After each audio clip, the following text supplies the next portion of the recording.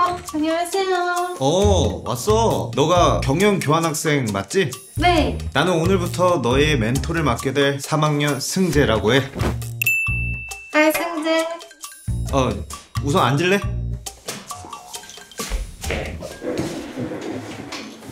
이름이 뭐라고? I'm Ellie. 만나서 반가워, 승재.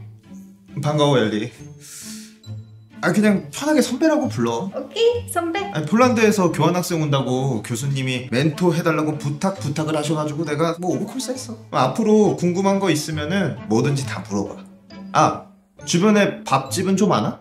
음, 아니?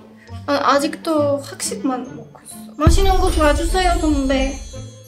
아 그러면 오늘 첫날이니까 내가 쏜다 와. 음식 뭐 좋아하는 거 있어? 음, 아, 자 봐봐. 여기 일식, 중식, 한식, 양식 리스트 싹 다 있어. 내가 이 근방 맛집은 꽉 잡고 있거든. 우와, 선배 최고. 그럼 나는 한식. 한식 오케이. 그러면은 어? 아 여기 오늘 휴무네. 그럼 찜닭집 갈까? 뭐야 사라졌잖아. 아 나 군대 가기 전까지 있었는데. 그러면 감자탕 먹으러 갈까? 감자탕 좋다. 어때? 좋아. 아 카페가 됐네. 엘리 혹시 밥 말고 커피 어때? 선배. 선배 잘하는 거 맞아? 학교 화장실에 혼자 밥 먹는 사람들이 있다고 하던데. 혹시 야, 나 아니거든? 얘 지금 뭘 하는 거야? 기다려봐. 가는 날이 장날이라더니, 장난? I like 시장. 시장 가자. 응? 무슨 시장? 방금 선배 장난이라며.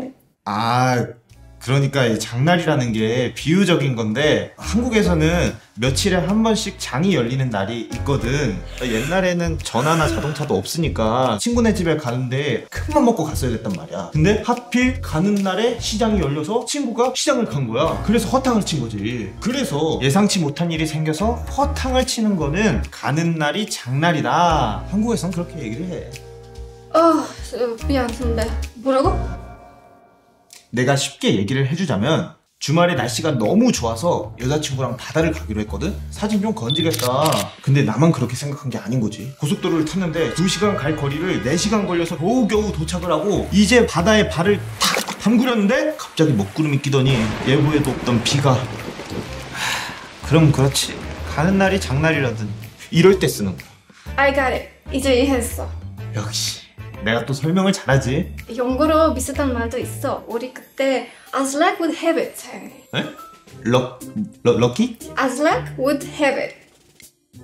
이게 뭐 나쁠 때만 쓰는 건 아니니까 어 그게 우리도 그 일이 술술 잘 풀린다 할 때도 가는 날이 장날이네 라고 해나 그래서 선배 여자친구한테 차인 거야? 여자친구 없어 나 모쏠이야 모쏠 어 엘리 너 오늘 한국 속담 하나 배웠네 야 첫날인데 아주 유익하다 유익해 그치?